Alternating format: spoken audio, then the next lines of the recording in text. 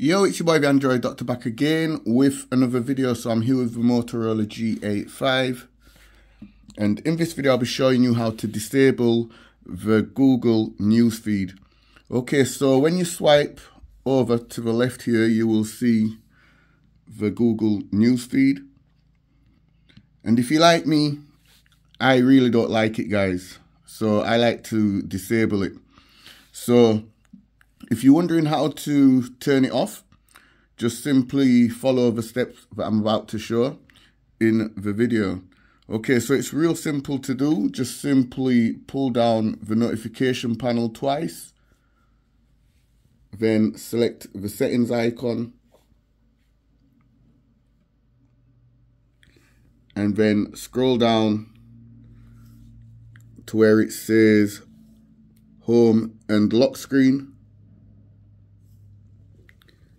Then select home settings. And then scroll down to where it says swipe access.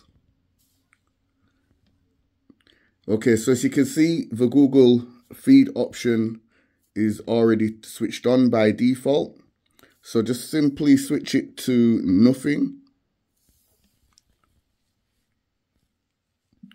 And now when you go back to the home screen and swipe to the left, as you can see, the Google Newsfeed is no longer activated.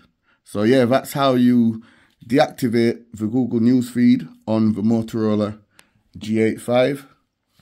Hope this video helped you out.